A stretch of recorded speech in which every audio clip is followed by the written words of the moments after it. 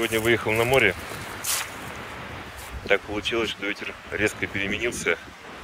Ветер очень холодный, идет с моря. Так что сегодня купаться и загорать не получится.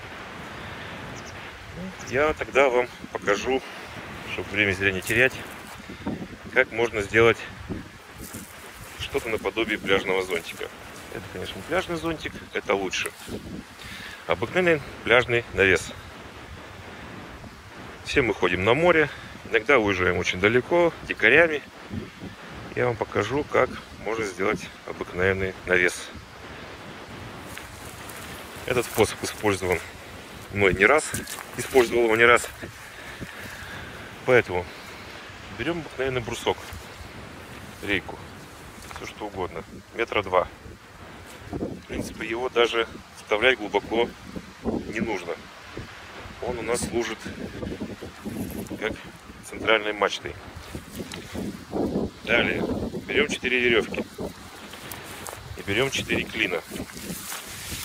Клин берем из многослойной фанеры.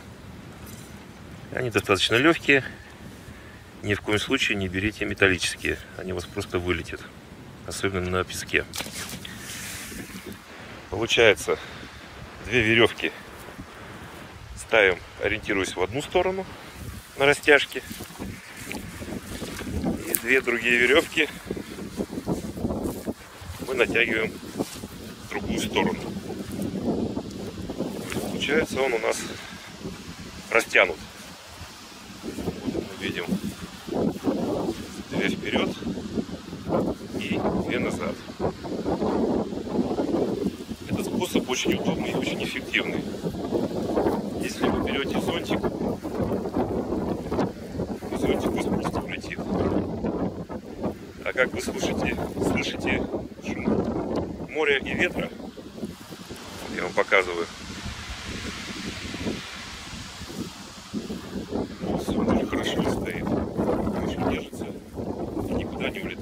На четырех растяжках.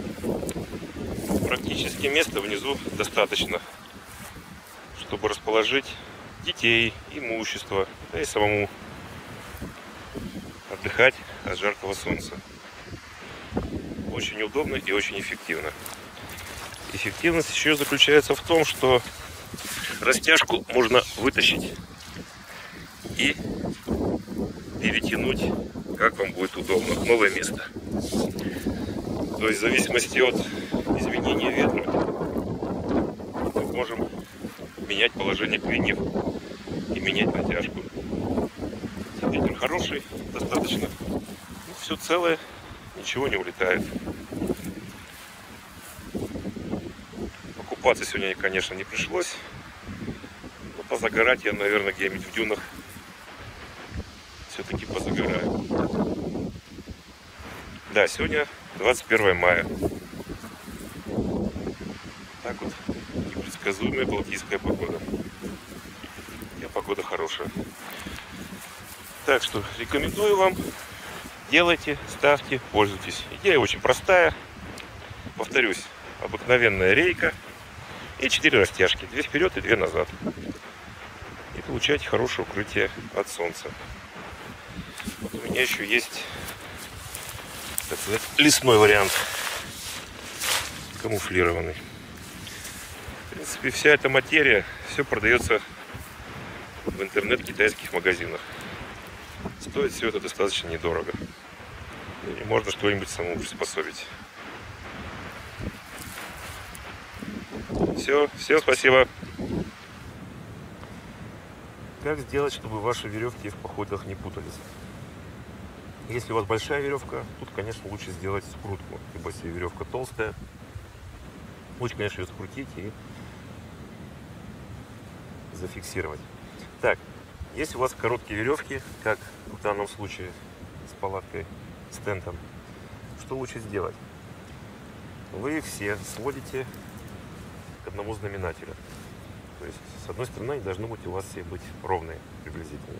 И завязываем обыкновенный узел. Далее, через некоторое время, делаем вот такую вот петлю. Просто завязываем. То есть, когда будем ее опять распутывать, мы дернем, и веревка у нас будет распутана. То есть, делаем Ну, то есть вытаскиваем петлю и ее так оставляем. То есть мы получаем короткий участок веревки, который запутаться у нас никак не сможет физически. И так через некоторое расстояние мы делаем такие петельки. И эта веревка у вас никогда не запутается. И в походе при установке данного тента, который я показал, вы легко распутаете и сможете его использовать. Все. Вся веревка зафиксирована. Теперь мы можем ее как угодно бросать, что угодно с ней делать. Мы всегда находим крайний узелок, где тут у нас он должен быть. И потом потихонечку все это дело распутаем. Вот таким вот образом. Еще раз повторюсь. Походах используйте только клини из многослойной фанеры. Я показываю. Очень хороший инструмент.